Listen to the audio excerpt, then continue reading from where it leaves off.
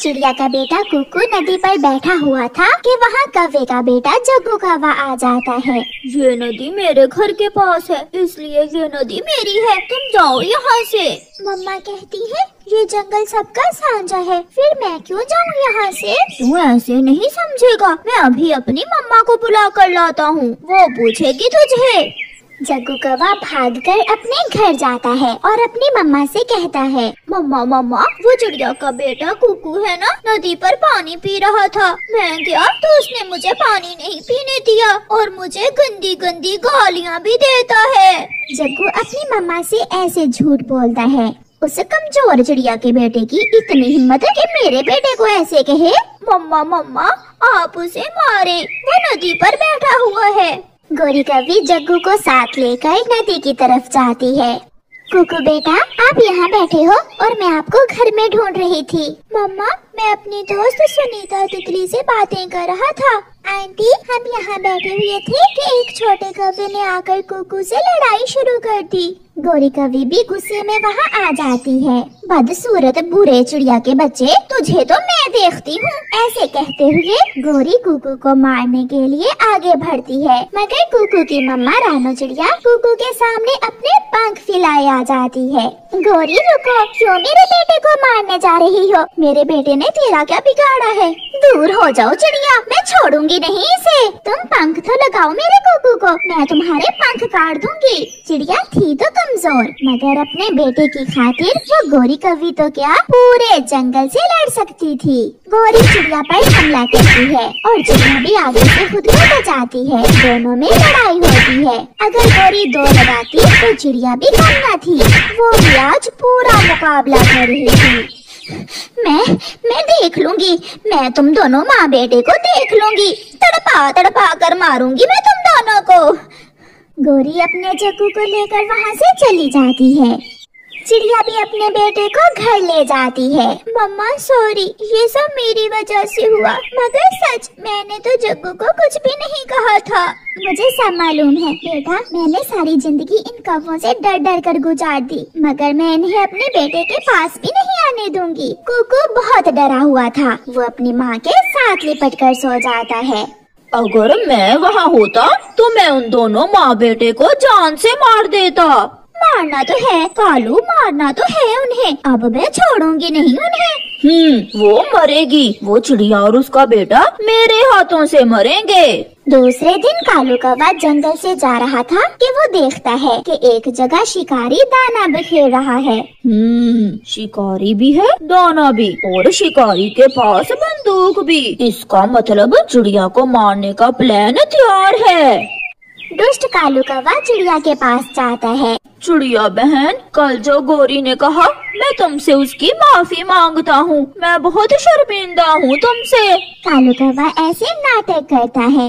कवे भैया मेरा कुकू तो नदी पर बैठा अपनी दोस्त तितली से बातें कर रहा था कि उन माँ बेटे ने आकर लड़ाई शुरू कर दी। मैं अपने बेटे को पिटता कैसे देख सकती थी? छोड़ो इन बातों को। अच्छा तुम ऐसा करो बेरी के पेड़ के पास दाना है। मैं भी वहाँ से ही दाना लेकर आया हूँ। तुम भी जाकर वहाँ से दाना ले आओ। आपका बहुत बहुत धन्यवाद कालू भैया। मैं भी अभी दाना लेने ही जा रही थी। फिर कालू कौवा धोखे से चिड़िया को शिकारी के लगाए हुए जाल की तरफ़ भेज देता है।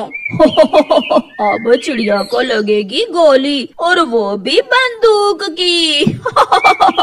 कालू भी छुप छुप कर पीछे जाता है। कुछ सोचे बिना चिड़िया बेरी के पेड़ के पास जाती है और वहाँ जाकर दाने लेने लगती है। झाड़ियों में छुपा हुआ शिकारी निशाना सीधा करता है। एक ठाक की आवाज़ आती है और गोली मम्मा चिड़िया का सीना चीरते हुए निकल जाती है। मम्मा चिड़िया दूसरी सांस भी नहीं लेती और मर जाती है।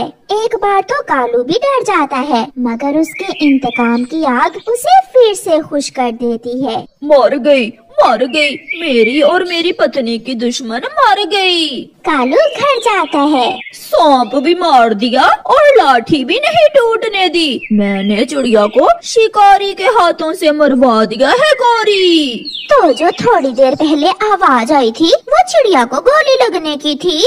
हाँ मर गई छोटी चिड़िया। और अब उसका बेटा मरेगा भूख से। मैं देखता हूँ कौन सहयोग देता है उसे। कुकू कुकू बेटा आपकी मम्मा को शिकारी ने मार दिया है। ये सुनकर छोटे कुकू का दिल फट जाता है। उस छोटी सी जान पर ये खबर कहर बनकर टूटती है। माँ? तोते अंकल कहाँ है मेरी माँ? शिकारी मारकर उसे साथ ले गया है। कुकू बहुत रोता है, वो बहुत रोता है। मगर अब उसकी मम्मा कब लौट कर आने वाली थी? वो सारी रात रोता है और अपनी मम्मा को याद करता रहता है। कोई भी उसका दुख बांटने नहीं आता। सुबह हो जाती है और वो उस जगह जाता है जहाँ वो सुबह सवेरे हर रोज अपनी माँ के साथ आया करता था। माँ माँ, प्लीज़ एक बार मुझे आकर मिल जाओ। मम्मा।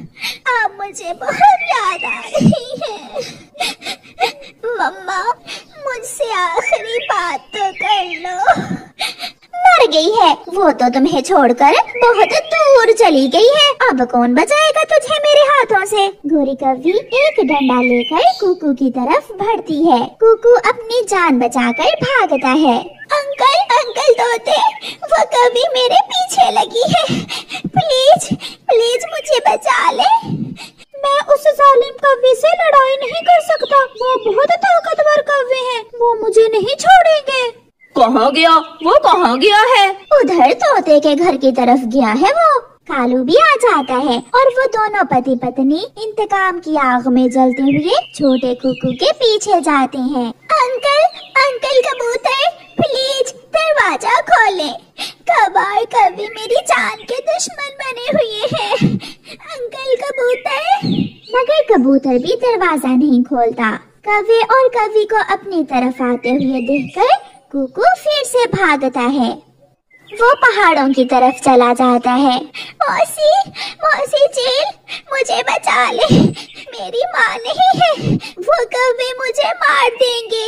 वो कभी मुझे मार देंगे। मुझे बचा ले। कल तुम्हारी ही माँ को शिकारी ने मारा है ना? हाँ हाँ कल मेरी मम्मा को ही शिकारी ने मारा था। चील तो खुद बहुत जालिम थी, मगर उस छोटे मासूम बच्चे पर चील को दया आ जाती है। मैं तो समझती थी कि मैं ही जालिम हूँ, मगर मुझसे बढ़कर भी जालिम अभी है। मेरे पीछे छुप जाओ बेटा, मुझे अपनी माँ ही समझो। कवा और कवि भी पहुँच जाते हैं। चील दी या इसे खुद खा लो या फिर इस चिड़िया के बच्चे को हमारे हवाले कर दो। के इसकी माँ नहीं है ना, इसका पिता नहीं है ना, इसलिए तुम इस पर जुल्म कर रहे हो, मगर मैं तुम्हें ऐसा नहीं करने दूँगी। इसे तो हम मार के ही दम लेंगे। तो फिर मुकाबला करो। चील आगे बढ़ती है और एक ही बार में गोरी कव्वी को चीर देती है और फिर कालू कव्वे को अपने पंजों से उठाकर पत्थर पर दे मारती है। वो दोनों कव्वे मर जाते हैं। बेटा मैं आपको माँ का प्यार तो नहीं दे सकती मगर शायद तुम्हें बचा लेने से मेरे पाप थोड़े कम हो जाएँ। आज से तुम मेरे पास ही रहोगे। मैं माँ हूँ तुम्हारी और मैं रक्षा करूँगी आपकी। फिर कुकू चील मम्मा के गले लग जाता है। और कौवे अपने इंतकाम की आग में जलकर खुद ही मर जाते हैं। प्यारे दोस्तों, इस कहानी से हमें सीख मिलती है कि जो किसी दूसरे का बुरा करता है, अंत में उसका अपना ही बुरा होता है। और प्यारे दोस्तों, इस कहानी को